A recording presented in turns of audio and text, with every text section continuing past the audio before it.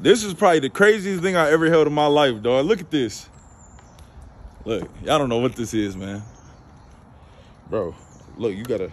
Oh, you flipped. the, you flip the button? Mm-hmm. Oh man, it's a flamethrower. Oh man, this is crazy. Let me hit that.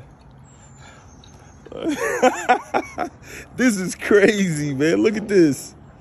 Yeah, man, you got